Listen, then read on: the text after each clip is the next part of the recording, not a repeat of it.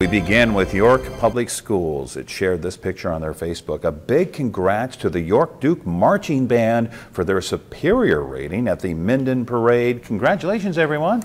The Beatrice Police Department shared this picture on their Facebook page. K9 Toro stopped by the Whispering Winds Cottage and welcomed some new residents. They say he's quite the ladies' man and that everyone loved him. I mean, with a face like that, come on, who wouldn't?